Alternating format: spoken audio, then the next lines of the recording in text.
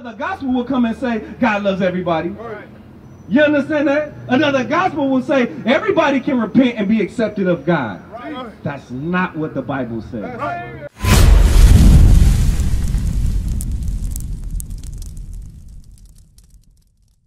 John chapter 4 and verse 1. So you you said something interesting about the image, right?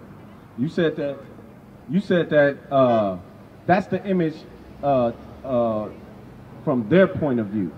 Like it might have some uh, truth in it, right? All right, so watch watch what the Bible says. You believe in the Bible. All right, watch. The book of First John, chapter 4 and verse 1. Read out. Beloved, believe not every spirit. Do what? Believe not every spirit, uh -huh. but try the spirit. So how do we try the spirit? Uh, I, I, I would assume, you know, from my own personal experiences through, you know, your own prayer fasting and your own relationship with Christ you know, your own relationship. So we, in order for us to try the Spirit, we have to try the Spirit by the Spirit. That's right. You understand that? So which means we're going to have to understand and find out what the Spirit is according to the Bible. Because one thing our people don't understand and realize is that the Bible is its own glossary. Right. You see what I'm saying? Like anytime you're dealing with a subject in school, right? it, it, it has certain words that, that may mean certain things generally, but pertaining to that, that specific subject, it has a different meaning, right? And you can go to the glossary to find out that meaning, right? So the Bible, in, in a similar way, it's the same thing. You understand? Hold that. Give me uh First First Peter chapter two, first chapter one and verse twenty. Bring it out. First Peter chapter one and verse twenty. The Bible Sorry. says the Second Peter chapter one and verse twenty. Thank you. You got that? Read. The book of Second Peter's, chapter 1 and verse 20. Knowing this first. says knowing this first. Right? You follow? Go ahead. That no prophecy of the scripture is of any private interpretation. What does that mean? So, so, so nobody can pick this book up and say, well, and start reading and say, well, this is how I understand it to me. Right? That's what it said, right?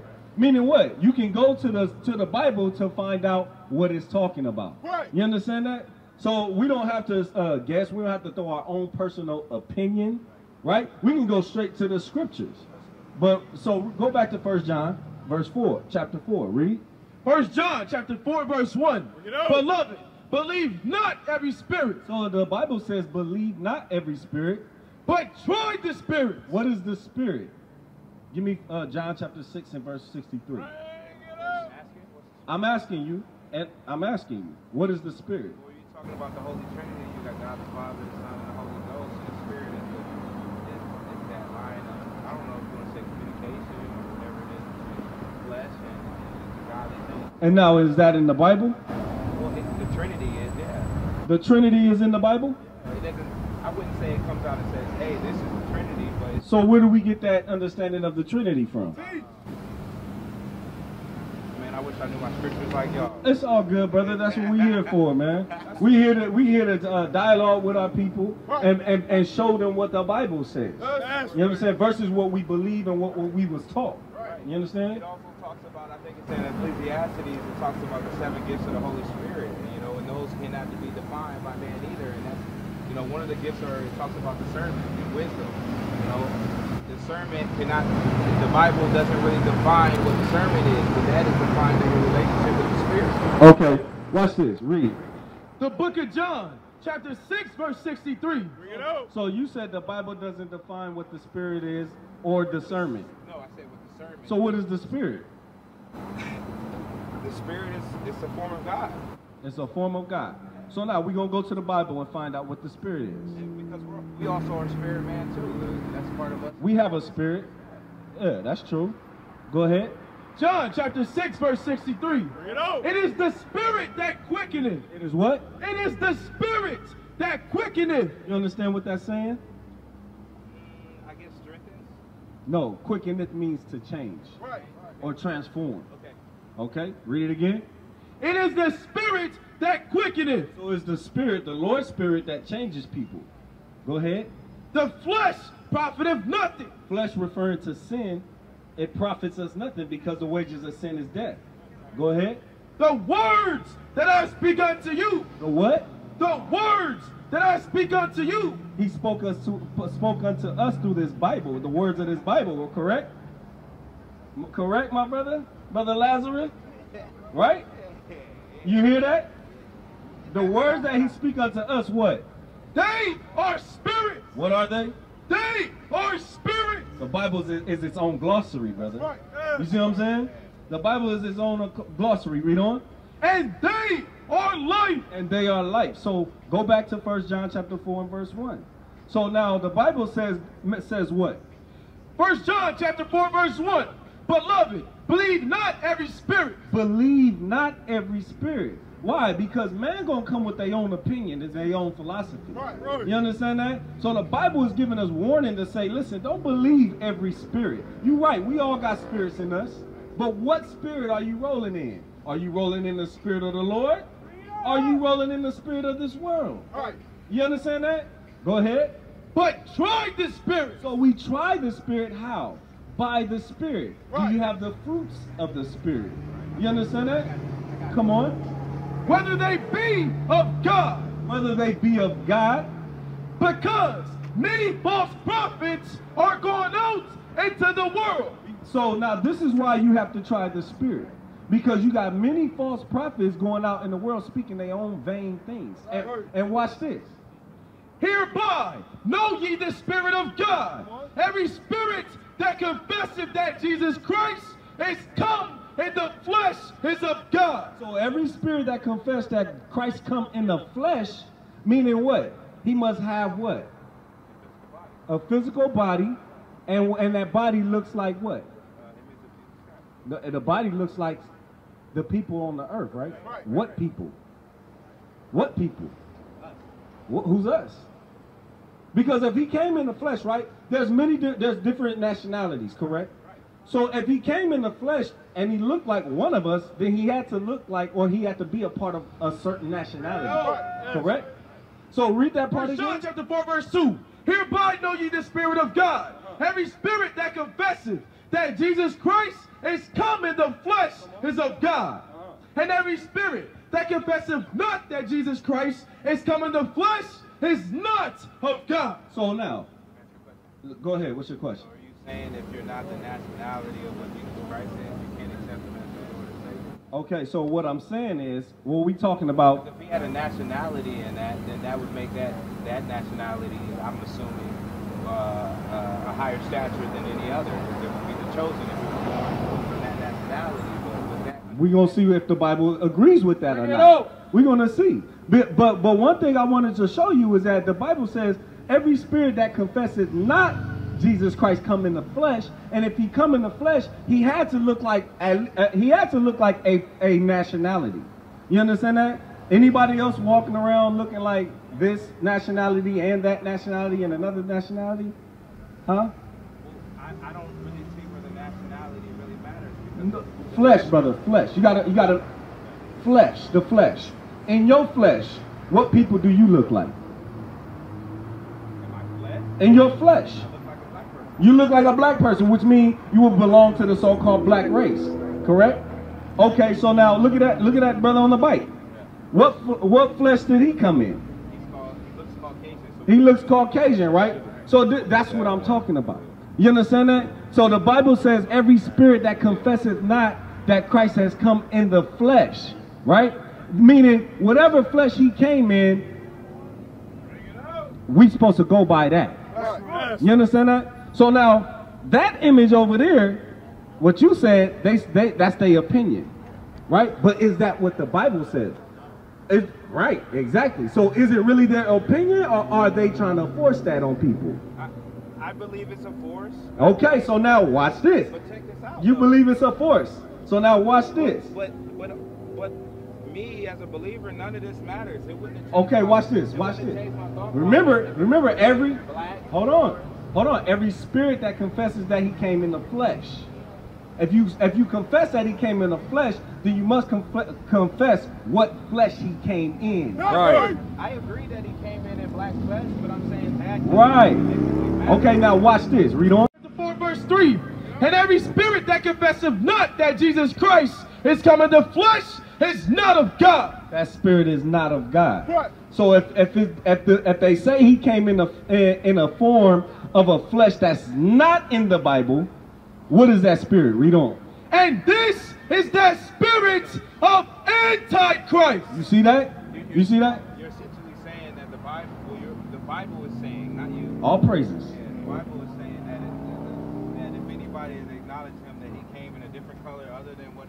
other than what the Bible says he came, then he's the Antichrist. Then he's the Antichrist. Yes. You understand that, brother? I, I agree with that. Uh, okay, so you agree with that. So now you know why they push that, and it's in the Bible. You feel me? It's in. A, give me uh, First John chapter five and verse ten. I I'm just saying, even though they push it, having a spiritual relationship with God wouldn't allow that to have control over me because I know that's. Oh, but it would, and I'm gonna show you why. And I'm gonna show you why. Okay. Because remember, it said, believe not every spirit. There's a reason he said, don't believe every spirit, but try the spirit. You understand that? Because behind the spirit, you got to understand if it's the of the of God of the Most High, then that spirit is going to push what God wants. And if it's not, then it's going to push something different. You understand that? That's what the sermon is for. Right, but but you got to know the spirit first, which is the Word of God. So you got to study, read on. First John. First John chapter 5 verse 10. He that believeth on the Son of God. You, he that believes on the Son of God hath the witness in himself. He that believeth not God hath made him a liar because he believeth not the record that God gave of his son. So God already gave a record of his son in the Bible. You understand that? And if you believe in him, then you're gonna you gonna if you believe what the Bible says about Christ, then you have the witness in you. But if you come with a different understanding that's in the Bible, you don't believe.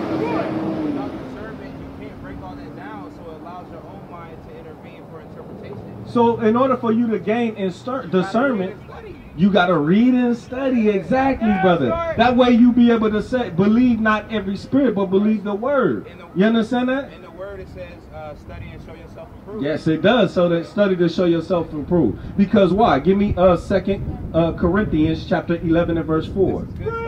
A second All we doing is trying to bring our people to truth, to the truth, because we've been lied to for so many years and we don't even understand it you understand that? And nobody is trying to teach them the truth. So we, what we trying to do is to do what God says. You understand? We trying to bring the truth to our people so they understand the Bible the way it was supposed to be understood. All right, now read what you got. Second Corinthians chapter 11 verse 4. Now first give me John chapter 8 and verse 32. I know, I know. What time is it? It's 10:57. 57. Ooh, damn. Hurry up. Give me that.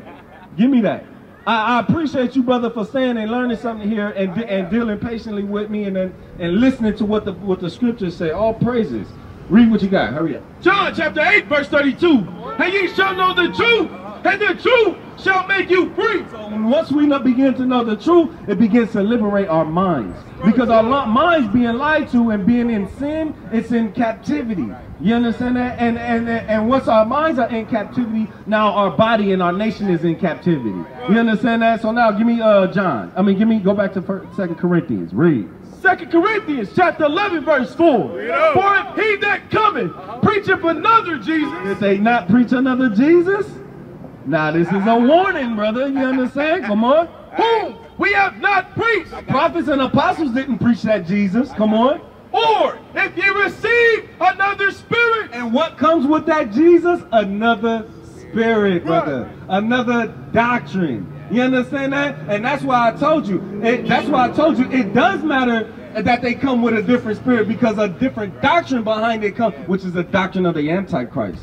You understand that, brother? And this is what our people got to understand and come up out of and got to learn from. Read on. Or if you receive another spirit, which you have not received, or another gospel which ye have not accepted. That's why it says, or another gospel. Because it's not the gospel of the Bible. It's not the good news of the Bible. The good news of the Bible says that God only came for his chosen people, not all nations that he created. You understand that? That's what the Bible says. But the other gospel, another gospel will come and say, God loves everybody. You understand that? Another gospel will say everybody can repent and be accepted of God. That's not what the Bible says. That's not what the Bible says. So we're teaching the blacks, Hispanics, and Native American Indians. Matthew 15, 24. Go ahead. I think the, I think the, the hard part for that to understand is that if you're not those people, but you love God, it feels like it's a waste of your time. Wow. You said something deep, brother. You said if it's not for your people, then it's a waste of your time guess what? We trying to bring that understanding to our people, but it's a hard thing to swallow. It's a hard thing to swallow, but the truth sometimes hurt, and our people don't like the truth. Isaiah, Isaiah 30. Right. He came for, the, you know, he, he sent his son for the sins of the world. It didn't say for the sins of the chosen people. Wait a minute. Okay, so now let's get some understanding. He said he came for the sins of the world, right? Okay, so now, what world was he talking about? Did you know that there's, remember, the Bible is its own glossary. Right, right. Did you know that there's multiple definitions of world? You got the sports world. Does the sports world have anything to do with uh, uh, the uh, sea world? huh? Huh?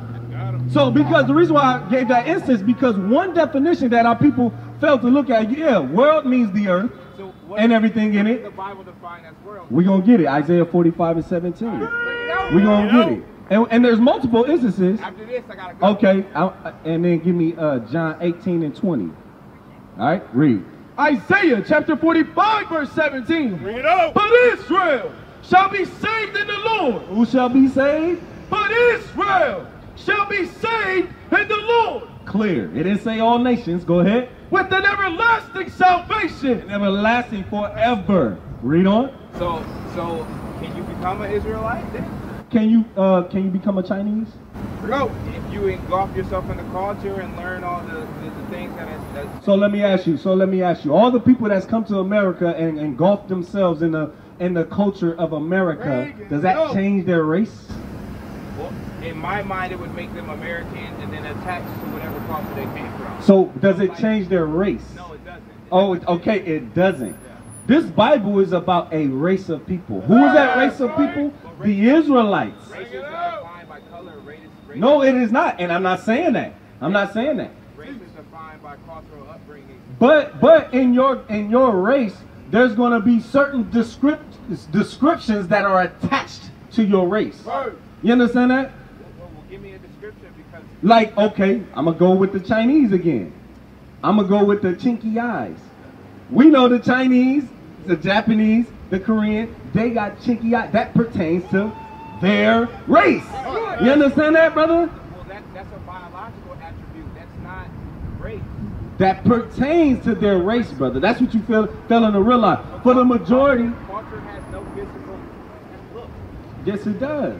Yes, it does. If you can take a white boy and put him in a black neighborhood. That's that's okay. That's okay. That doesn't mean that the, culture and race are two different things. They're two different things. So yes, uh, when you take on another culture, doesn't make you that nationality. That's what that's what I'm pr proving to you. When you talk about race, it doesn't have a physical look. It does. It does. Look up the definition of race. Go ahead.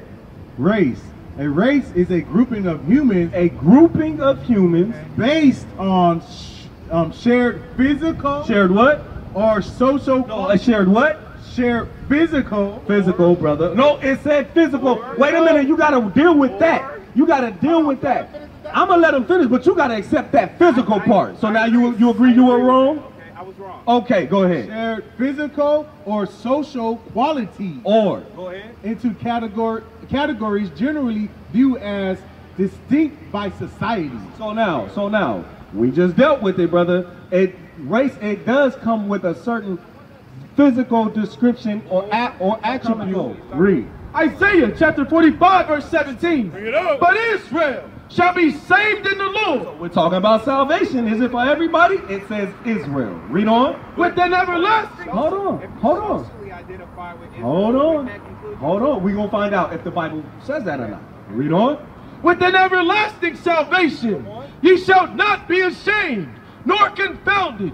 World. What? World without end. They call, he called Israel a world without end. John 18 and 20. He called Israel a world without end. Let's get some more understanding on the word world. Read on. John chapter 18, verse 20.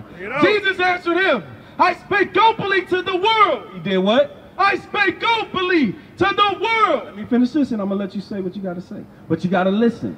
He's, Jesus said he spake openly to the world. What world? Let's see. I ever taught in the synagogue and in the temple whether the Jews always resort. That's the world he was dealing with. Right. Where the Jews resort. The Jews were in the temple. The Jews were in the synagogue. Not the other nations. The other nations weren't allowed in the temple. You understand that? So what, who was the world Christ was talking about? The Israelites. Thank you.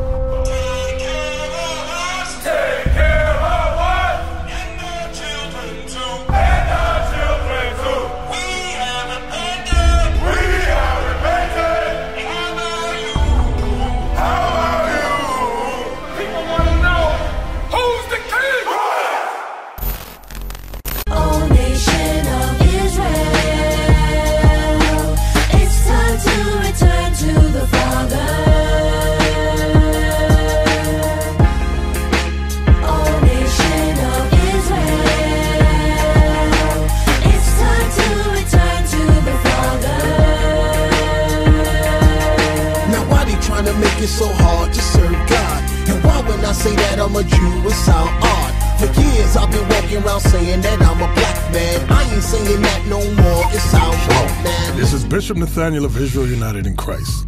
Please subscribe to our YouTube channels. Stay up to date with our latest events, music, and classroom lessons.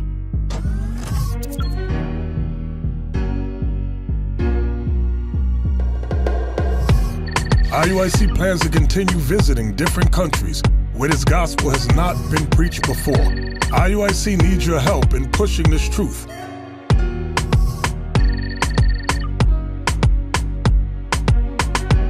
So join us, subscribe to our Instagram, Facebook, Twitter, and podcast, and stay up to date with us.